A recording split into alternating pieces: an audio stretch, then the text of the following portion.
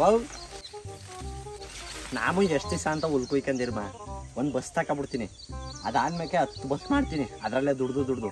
ಅದಾದ್ಮೇಲೆ ನಾನು ಹೆಂಡತಿ ಡಿ ಸಿ ಮಾಡಿಸ್ಬಿಡ್ತೀನಿ. ಅದಾದ್ಮೇಲೆ ನಮ್ಮ ಅಪ್ಪನ ಹೆಸರಲ್ಲೇ ಒಂದು ಆಸ್ಪತ್ರೆ ಕಟ್ಸ್ಬಿಡ್ತೀನಿ.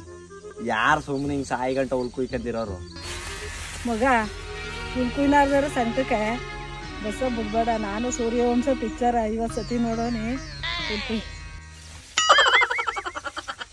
ಯಾರು ತಿಳಿಯರು ನಿನ್ನ ಭುಜಬಲದ ಹಲೋ?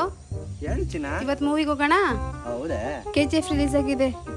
ಹ್ಞೂ ಉಲ್ಕು ಕುಯ್ಯಕ್ಕೂ ಏನಾರು ಹೋಗ್ಬೇಕಾ? ಬರ್ತೀರಾ ಇಲ್ವಾ? ಉಲ್ಕು ಕುಯ್ದಾರದ ಬಿಡು ನಮ್ಮ ಅವಂಗೆ ಏನಾರು ಯಾಮರ್ಸ್ಬಿಟ್ಟು ಬಂದ್ಬಿಡ್ತೀನಿ ಸರಿ ಸರಿ. ಆಯ್ತಾಯ್ತು ಬರ್ತೀನಿ. ಅವ್ವ ಒಂಚೂರು ಅರ್ಜೆಂಟು ಸ್ಪೆಷಲ್ ಕ್ಲಾಸ್ ಇತ್ತು ಹೋಗ್ಬೇಕಾಗಿತ್ತು.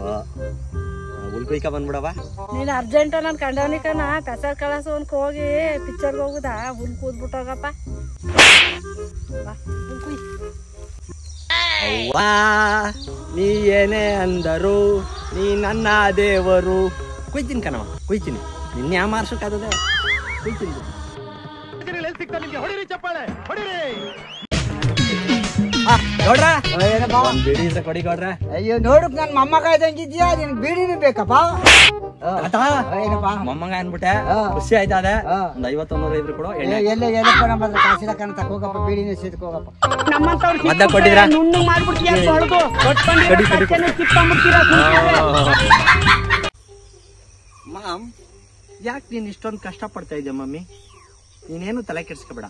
ಇಲ್ಲೊಂದು ಹತ್ತು ಎಕರೆ ಲೀಸ್ಗೆ ಹಾಕಬಿಟ್ಟು ತೆಂಗು ಅಡಿಕೆ ಅದು ಇದು ಅಂತ ಆಳು ಮೂಳು ಬೆಳೆದ್ಬಿಟ್ಟು ಫುಲ್ಲು ರಿಚ್ ಆಗ್ಬಿಡಮ್ಮ ನೀ ತಲೆ ಕೆಡ್ಸ್ಕೊಬೇಡ. ಇರುದ ಇಪ್ಪತ್ತು ಗುಂಟೆಗೆ ನೀರ್ ಕಟ್ಟು ಅಂದ್ರೆ ಹತ್ತು ಗಂಟೆಗೆ ಎದ್ದು ಬಂದಿದೀಯೇ?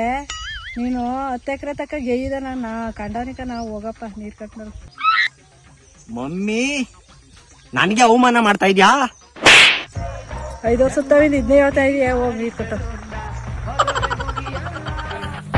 ಅಮ್ಮ ಅಮ್ಮ ಐ ಲವ್ Thank you.